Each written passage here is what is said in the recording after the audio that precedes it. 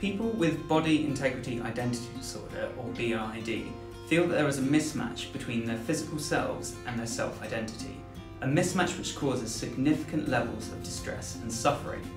This mismatch is born from the idea that they are an impaired or disabled person trapped within an able person's body. To eliminate this suffering, many of those with the condition desire to transition. They want to become disabled, most commonly via a therapeutic healthy limb amputation. My research examines whether such procedures are socially, ethically and legally permissible.